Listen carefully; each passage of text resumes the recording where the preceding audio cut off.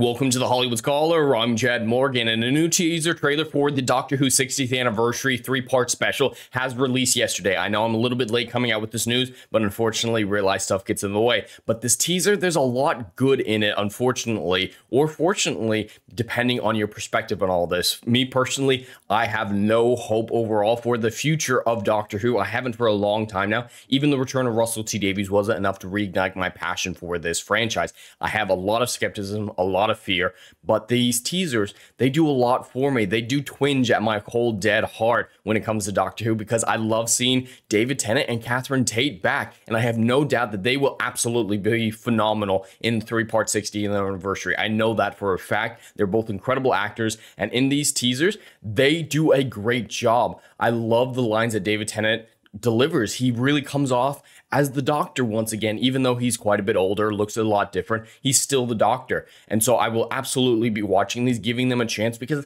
I want nothing more than Doctor Who. I want to eat crow on this. I've never wanted to eat crow more in my life than when it comes to the future of Doctor Who with Russell T Davies. But I have a ton of concerns because of who Russell T Davies is as a man right now and the undoing potentially of the Dr. Donna story. I love how it ended at the end of season four and what they did with it in the end of time two part special. I don't want to see any of that undone. I don't want to see Donna's story retroactively changed. It's perfect the way it is. We can't undo it. We can't have her remember the doctor. It's clear from these teasers, though, that she does from her lines at the very beginning, where she says, Why did you bring back this face to say goodbye? I don't know why that is. I don't know why David Tennant's doctor needs to say goodbye and I'm a little worried about it. It is kind of cool that David Tennant is now playing three different versions of the Doctor, since he is one of the most beloved Doctors, only rivaled perhaps by Tom Baker, the fourth Doctor. And there's just a lot I'm worried about. There's a lot, lot I'm worried about. I won't be playing the trailer because the BBC is known for striking people and claiming people to a further degree than most other studios. But I do want to show you a few stills from it, including these monsters. I don't know what it is with these monsters. They look kind of cheaply made with the massive budget that they have in cooperation with Disney Plus, which is a massive, massive concern for me. Why are these monsters looking so cheap? I don't know if they are. They look kind of fly like. I don't know if they're some sort of cousins to the fly creatures we saw in the David Tennant special, the first David Tennant special. I don't know what that's going to be. I don't know who they're going to be. They just come off of really cheap looking, really cheap looking. And like I mentioned before, the Donna stuff at the beginning has me very worried. I love seeing Catherine Tate back. Don't get me wrong, but her lines right here to say goodbye. She recognizes the doctor. I have a big issue with that. And moving on a little bit, the episode titles are revealed in this. And they're fine for the most part. The Star Beast is kind of generic. It reminds me a lot of the Star Whale that we saw at the beginning of Matt Smith's season five, which is a great episode with Karen Gillan's Amy in it and has a lot of good philosophical questions that I, I adore that episode. It reminds me of that, probably not related to it at all. That's just what it reminded me of. Wild Blue Yonder, though, that I think is a great, great episode title. I love that idea because Wild Blue Yonder, that's a big, you know, American song phrase that we use here in America and, you know, Blue TARDIS, it just sounds cool. It sounds Doctor Who I love that title. That one I am 100% on board for. But the third one, The Giggle, that's weird.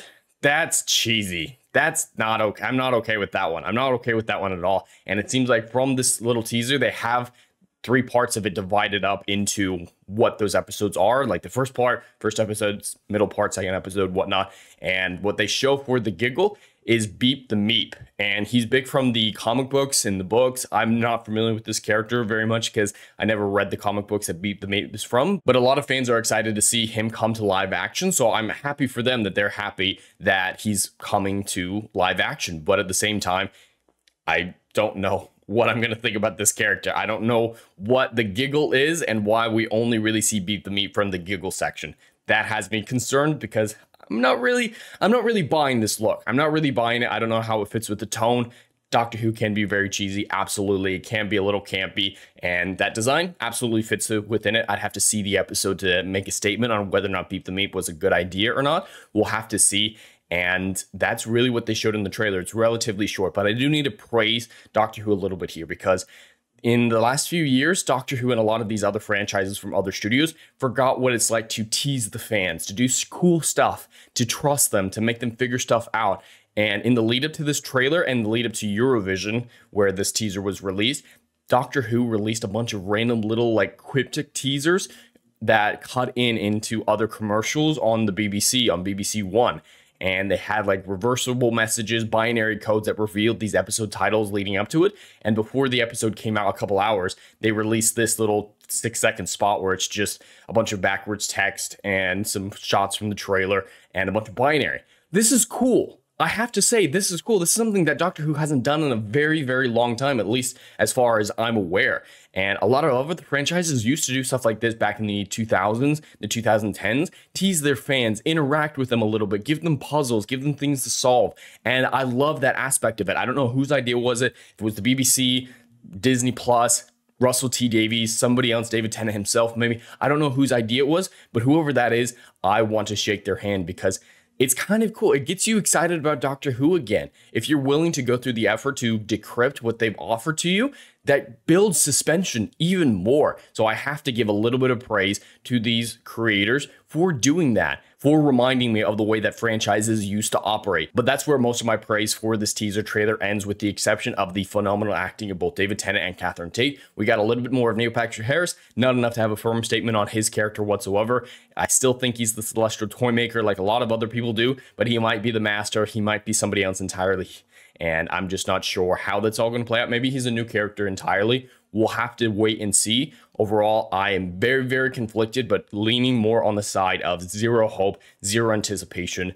And it's not really been affected overall by this set of teasers, by this actual trailer, because there's just too much working against it. The man that Russell T Davies is now is just too opposed to good storytelling that I don't know if he can pull this off. I want him to. I want good Doctor Who again, but as long as the Timeless Children and Jodie Whittaker Chris Chibnall's entire run is canon, I don't know if I can ever, ever reinvest into the franchise.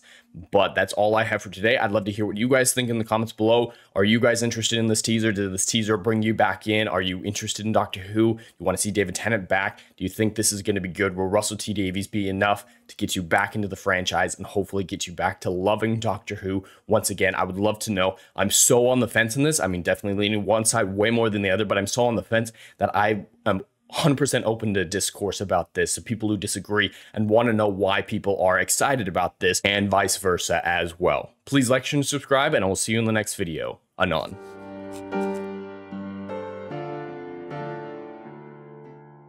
Hey, yo, are you feeling what I'm doing up in here? Oh, I know you are. Do you miss all the good, compelling stories that we used to get back in Hollywood that they ain't putting down no more? Yo, Oh, I know you missing it. So check out my book series, Odyssey of a Phoenix, a mythological epic about philosophy, morality, and modern day mental illness issues, baby.